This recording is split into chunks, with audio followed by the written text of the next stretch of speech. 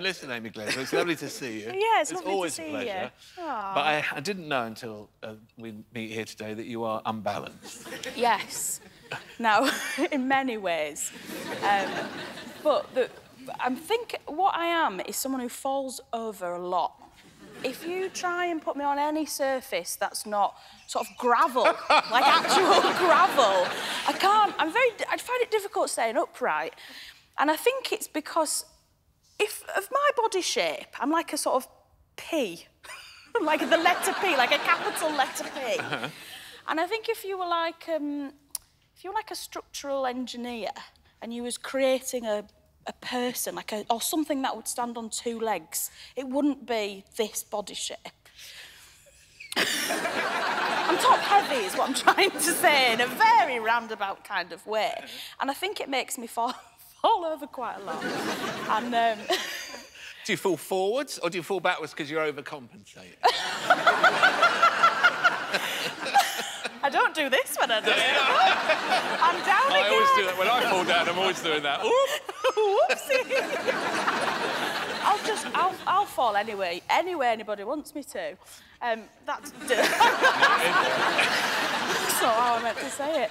What is in this, actually?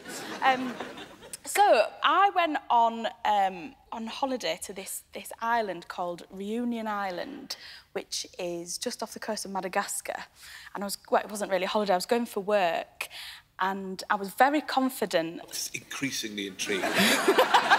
just dropping things in, moving on.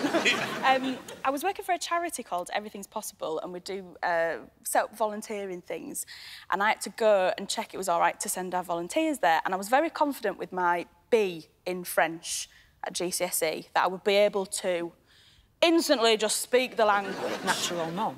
Ex- well, exactly. That's probably French. Yes. So, and I almost understood that. Yeah. So I was thinking. Almost certainly French. certainly French. and I understood that, so I was thinking, yeah, I'll be absolutely And you absolutely turn up fine. and the entire island speaks Spanish. They speak French and Creole, sort of uh, like this beautiful combination, and I didn't, couldn't really. What's the French for I have fallen over? Well, this is what I struggled with. this is very much what I struggled with. So, um, the the guy that I was working with, he wanted to climb a volcano. He said, "Let's let's do it," because the whole island is sort of based on this volcano, and it's the main thing that you should do. But I thought, well, I'm not very good at standing up on normal ground, so I'm not going to do it. So I sent him up this volcano on his own, and I thought my job for the day is just to keep myself safe and not fall over. so he went up this huge volcano, and all I had to do was go to the shop on the corner of the street. And as I was walking to the shop, I fell down a manhole. Out of sight down a manhole. Oh, like no, a you- cartoon. Oh, no, your head. I like Dawn French Vicar of Dibley sort of. like a down the puddle, yeah. and honestly, it was. It was Merde! Oh mon Dieu! Where were you guys when I needed you? I, I fell down and I thought I'd, I didn't know how to. All, all the French I'd, le- I'd learned at GCSE, it had left my head. The only words I could think of, because it was my favourite one, was champignon, which I think is mushroom. Yeah. But I thought if I start shouting that, they're going to think I'm on some sort of drug and they're not going to come for help. So I was just trying to get anyone's attention and I was just shouting français.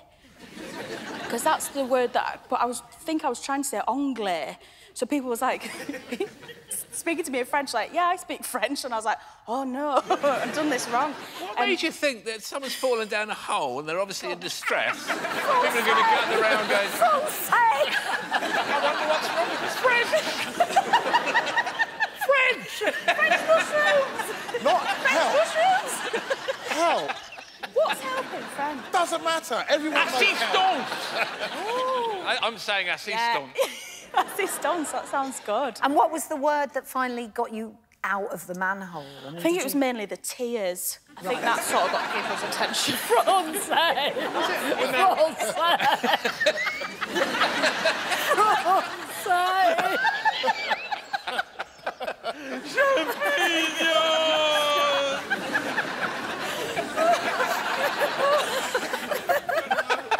Asking of the locals, what's happened? There's a girl that's fallen over that wants mushrooms. I don't know.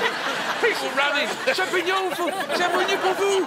Champignon. No, no champignon. Why did you ask for champignon? What I'm saying is, I'm shaped like a mushroom. I'm top heavy. I'm top heavy. Exactly. I mean, now you've put it like that, it does seem rather You didn't silly. go to hospital. No, I Reunion. I d- didn't know how to. No, but it was very difficult communicating with anybody. The burning question now Yeah. is, Yeah. how on earth did you get a B at GCSE? If you enjoyed that, remember to subscribe to Dave and click the notification bell so you don't miss any of our fresh content. Let us know in the comments who you'd like to see join me around the table and head over to UK TV Play where you can stream old episodes of As Yet Untitled for free.